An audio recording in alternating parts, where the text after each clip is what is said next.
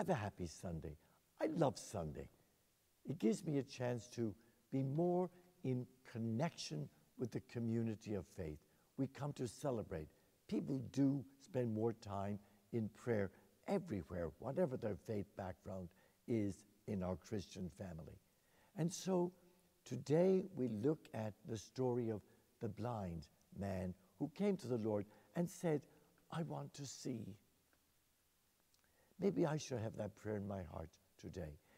I want God to give me a clear vision about what is right and good in my life. So pray that prayer from your heart. I want to see reality. I want to see love. I want to see justice. I, Lord, want to see.